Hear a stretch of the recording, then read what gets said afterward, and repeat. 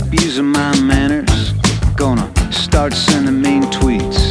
Gonna start acting as if I'm God's gift to everybody I meet. Gonna stop kissing on one girl, mess around with a few. Put a bumper sticker on my Bentley, says evidently Jesus loves me a lot more than you, yeah. Don't pay to be a nice guy in a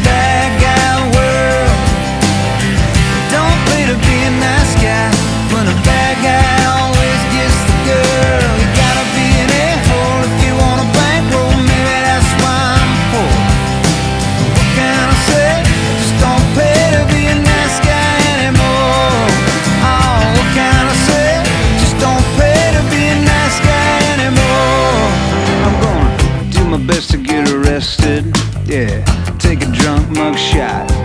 When I go out clubbing, gonna roll these hubs right up in that handicap spot.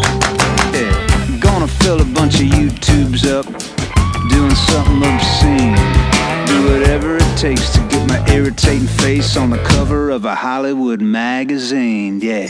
Don't be a nice guy in a bad guy